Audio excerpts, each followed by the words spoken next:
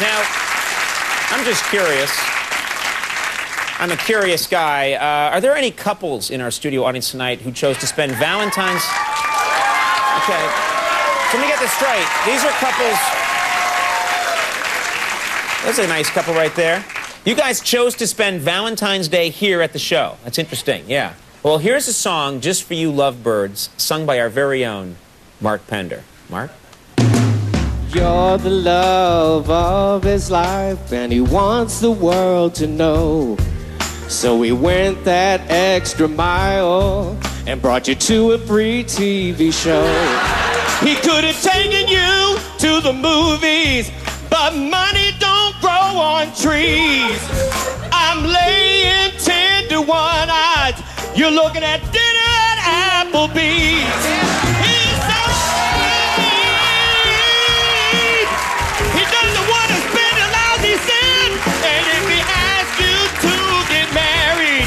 It's cause he wants you to split the rent. Yeah! Ah! Yeah, baby, baby, baby, baby, baby, baby.